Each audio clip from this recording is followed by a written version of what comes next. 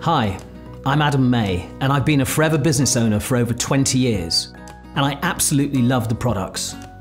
And today I'm going to be talking about Aloe Vera Gelly.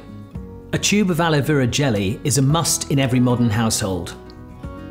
This valuable gel is essentially identical to the inner leaf gel found in an Aloe barbadensis miller plant, but this isn't any old aloe plant. There are around 400 species of aloe found in arid regions throughout the world.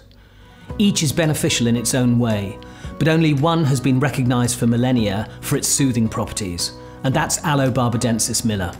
Our 100% stabilised Aloe Vera Gelly lubricates sensitive tissues safely. It's a thick gel that's ideal for soothing and calming irritation and is suitable for the whole family.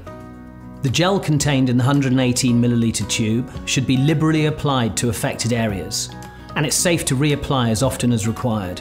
As with any topical product though, it's important to do a patch test before you use it for the first time.